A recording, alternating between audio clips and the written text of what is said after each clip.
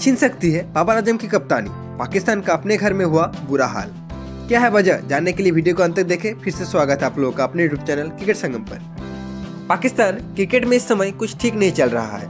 Pakistani team England के खिलाफ test series पहले ही दो ज़ीरो से गवा चुकी है और अब तीसरा टेस्ट मैच भी उसके हाथ से लगभग निकल चुका है। कराची में खेले जा रहे इस मुकाबले के तीसरे दिन पाकिस्तान की टीम हार लगभग पक्की हो गई।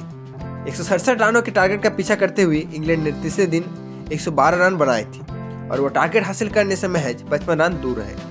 यानी कि इंग्लिश टीम पाकिस्तान का तीन ज़ीरो से सफाया करने के करीब है। देखा जाए तो पाकिस्तान टीम अपने होम सीज़न में इस साल लगातार तीन टेस्ट मुकाबले हार चुकी है और चौथी हार भी उसके करीब है। इंग्लैंड से पहले उसे ऑस्ट्रेलिया ने भी एक टेस्ट मैच में हरा दिया था। देखा जाए तो साल उन्नीस सौ उनसठ के बाद यह पहला मौका है जब पाकिस्तान को अपने घर में टेस्ट मैच में लगातार तीसरी हार का सामना करना पड़ा।